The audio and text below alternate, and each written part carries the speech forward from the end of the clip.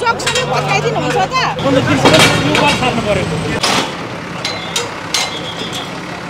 त्यसो गर्न हुँदैन नि त कि सूचना दिनुपर्छ मान्छेलाई।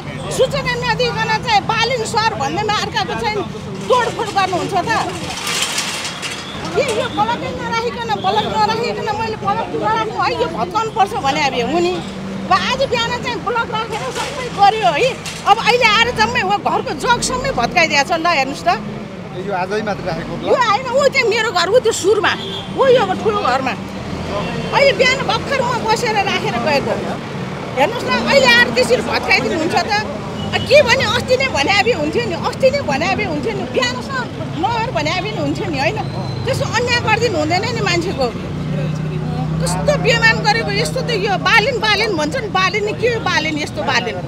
मान्छेको तोड फोड हान छान मान गर्ने यस्तो नि बालिन हुन्छ? यस्तो आएको मान्छेले नियमपूर्वक काम गर्नुपर्छ नि। हाम्रो त्यहाँ हेर्नु नि खेती हिँड्नु त्यहाँ हेर्नु हिँड्नु न ल।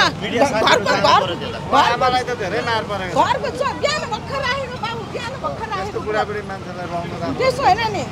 जम्मै घरको यस्तो जगसँगै डोजर लगाइदिने हो त। फेरि त फेरि भत्कायो भत्कायो। ल हिँड्नुहोस् त्यहाँ हेर्नु हिँड्नुहोस्। ल आउनुहोस् त्यहाँ हेर्नु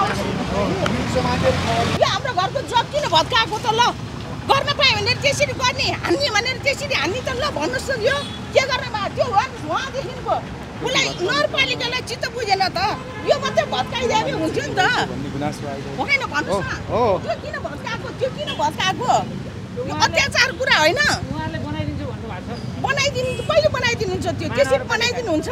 यो त्यो बनाउँछु भन्नु अहिले भर्खर यो बिहान लगाएको कि? बिहान यो नगर है यो बाटो लेभल मिलाउनु पर्छ यो रोक्नु पर्छ भने के रोक्न सक्नु रोक्यो भने हुन्थ्यो नि त नगरपालिकालाई। किन नरोकेको त? बिहान भर्खर बनाएर म एघार एक बजी भात खान गएको। यही आलै सिमन्ती सुनलाई हेर्नुहोस्। गरेर गएको मान्छे। अहिले आएर यसरी भरै हुनेसम्म भत्काइदिनु हो त हाम्रो। हामीले चोरेर ल्याएको सम्पत्ति हो यो? होइन। त्यस्तो गर्नुहुन्छ? बुढी बुढाबुढी मान्छेको घरमा यस्तो गरेर ल भन्नु तपाईँहरूलाई तपाईँहरूलाई नै चित्त बुझ्ने काम हो कि होइन? तपाईँहरूलाई चित्त बुझ्ने कुरा हो कि होइन? ल भन्नुहोस् बुझ्यो ल। यो तपाईँहरूलाई चित्त बुझिएको छ कि ल भन्नुहोस्। म मात्रै कराएको हो कि तपाईँहरू पनि भन्नुहोस्।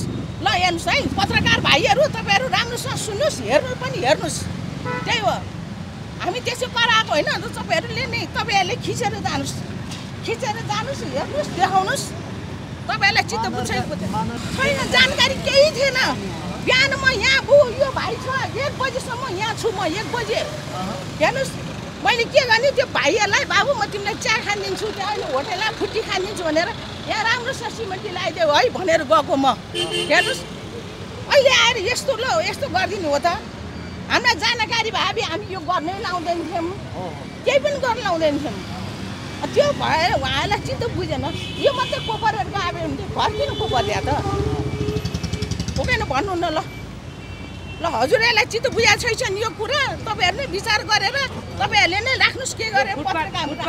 मैले हाइट अलिक घरमा अल्को बनाएको भएर अल्को छ त्यति हो अरू गल्ती होइन महानगरपालिकाले हामीलाई सूचना दिएको भए हामी होच्याइदिन्थ्यौँ। हामी यहाँ उ राखिदिन्थ्यौँ अब के गर्ने? मैले कसलाई समाउनु जाने अब सबै यिनीहरू राजाहरू छन्। अब हामी उनीहरू पर्दाको के कसले गर्नु सक्छ र हजुर हामी गर्नु सक्दैन। गोडामा गएर के गर्ने? नगरपालिकालाई भन्न जा भन्छ। नगरपालिकाले उहाँ जा भन्छ उहाँ जा भन्छ। खाउन् गरून् राम्रो होस् तिनीहरूको। भलो होस् त्यही हो। मेरो भत्के म यति बनाउला यिनीहरूलाई राम्रो होस्। सबैलाई यसरी रुवाओस्। बाबु खै बनाइदिने हो कि? होइन के। थाहा छ र अब? यो बनाउँदा त्यो बनाउनुहुन्छ त्यसरी भत्काइदिनु हुँदैन नि बाबु अब। त्यो त्यो त्यो कसले भत्काइदिन्छ? हाम्रो कसले गरिदिन्छ अब? हेर्नुहोस् त पसलको अगाडिको बिच। यो मात्रै हो र ऊ त्यहाँबाट ल हेर्नुहोस् न ल ऊ यहाँ पनि छ ल। कहाँसम्म खोपिदिनु हुँदैन नि त बाबु। हामीलाई ल भन्न न तपाईँहरूले आफै विचार गर्नुहोस् न। ल। त्यहाँसम्म खोपिदिनु हुँदैन नि। त्यहाँसम्म त्यो त्यति त छोडिदिनु पऱ्यो नि हामीलाई।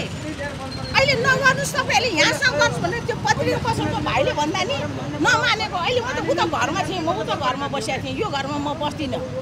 अहिले छोरी बोलाउनु गएर पो आएको त म त्यहाँ। पूजामा गएको थिएँ म पूजाबाट आएको अहिले म। त्यस्तो गर्नु हुँदैन नि बाबु। त्यस्तो होइन ल हजुरहरूले के के गरिदिनुहुन्छ तपाईँहरूले नि अब यही पत्रिकामा के गर्नुहुन्छ? यस्तो अन्याय चाहिँ गर्नुहुन्न भनेर चाहिँ भनिदिनुहोस्। तपाईँहरूले चाहिँ। नगरपालिकाले चाहिँ सूचना दिनुपर्छ। सूचना दिएर नि हामीले नगरे भएदेखि चाहिँ हाम्रो गल्ती हुन्छ। नभएदेखि उही भगवान् परमात्माले गर्छन् जे गर्नु। आज एकैचोटि डोजर लिएर फोड्न आउने? यो चाहिँ गलत भयो भनेर। बात त हामीले आजभन्दा कति वर्ष अगाडि उहाँसम्म थियो। यहाँ अगाडि दुईवटा मेरो घरको अगाडि दुईवटा गाडी पार्किङ हुन्थ्यो। त्यति जग्गा छोडेर अहिले हेर्नुहोस् म कसरी छ। त्यो पर्खाल चाहिँ त्यो घर सेफको लागि भनेर नगरपालिकाले नै लगाइदिएको पर्खाल। आज उहाँलाई चाहिँ केही नोटिस छैन केही खबर छैन। एकैचोटि आएर उहाँले चाहिँ त्यो पर्खाल हाम्रो हो पेटीभित्र पर्छ भन्नुभयो। त्यो चाहिँ मलाई चार इन्ची परे पनि जे इन्ची परे पनि पहिला मेरो घरको त्यो जबको सपोर्टको लागि त्यो पर्खाल लाएर जानुभएको। अहिले चाहिँ फेरि त्यो पर्खाल चाहिँ पेटीमा पऱ्यो भन्दै आउनुभयो। कि हामीलाई पहिले खबर गर्नु पर्थ्यो नोटिस दिनु पर्थ्यो चिठी दिनु पर्थ्यो त्यो पनि दिनु भएन। अहिले चाहिँ आएर डोजर लिएर फोड्न आउँदा मैले फोड्न दिएँ। ओडाबाट पनि त आउनु पऱ्यो नि। ओडाको मान्छे पनि त आउनु पऱ्यो नि। तपाईँको यो घर फोड्न लाग्छ भनेर भनेर आउनु पर्दैन। भोट माग्ने मात्रै आएर भएन नि। त्यसको लागि त हामीलाई आएर सूचना दिएर पैँतिस दिने अथवा चिठी दिएर पैँतिस दिनभित्र हामी आउँछौँ भनेर त्यसो गर्नुभयो भए राम्रो हुन्थ्यो। आज एकैचोटि खबरै नगरिकन पर्खाल तोड्न आउनुभएको छ त्यो चाहिँ राम्रो भएन। बालन सरलाई भनिदिनुहोस् पहिला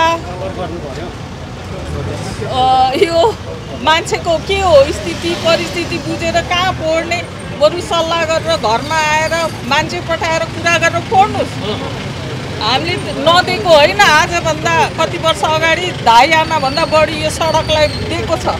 त्यो पनि दिन्छौँ। तर पहिला एटलिस्ट सरकारी नियमअनुसार चिठी पत्र मान्छे आएर बल्ल आउन भन्नुहोस्।